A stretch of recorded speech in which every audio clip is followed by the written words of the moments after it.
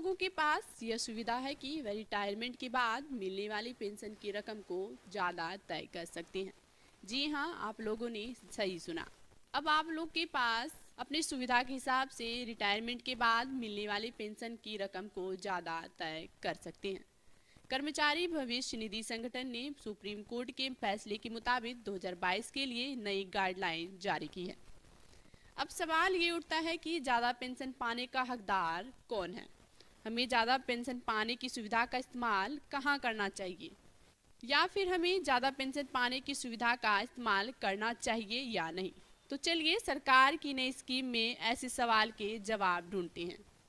2022 में supreme court ने जो फैसला सुनाया था, उसके मुताबिक ऊँची सैलरी वाले लोग भी पेंशन फंड में ज़्यादा पैसे जमा करा सकते हैं। लेकिन इसके लिए शर्त यह है कि ऐसे लोग कर्मचारी पेंशन स्कीम के सदस्य एक सितंबर 2014 से पहले बने हो। कोर्ट के फैसले को हम अलग अलग स्थितियों में समझ सकते हैं।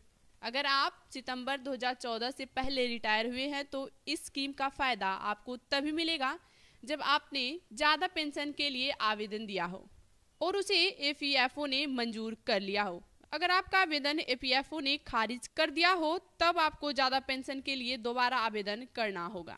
सुप्रीम कोर्ट के फैसले में कहीं भी इस बात का ज़िक्र नहीं है कि जो लोग 1 सितंबर 2014 से 4 नवंबर 2022 के बीच रिटायर हुए हैं, वे ज़्यादा पेंशन पाने के योग्य नहीं हैं। ये लोग इसके लिए आवेदन दे सकते हैं।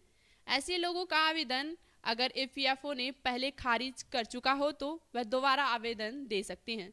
इसके लिए आवेदन का अंतिम तारीख तीन मार्च 2023 का है।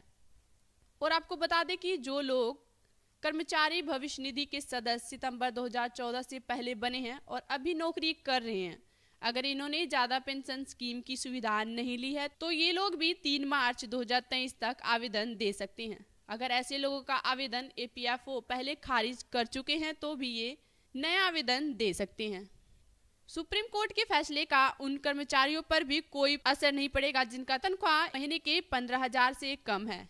लेकिन अब सवाल ये है कि अगर मेरी तनख्वाह एक सितंबर 2014 से पहले पंद्रह हज़ार से कम थी, जो उसके बाद बढ़ गई है तो क्या मैं ज़्यादा पेंशन वाली स्कीम का लाभ उठा सकता हूँ?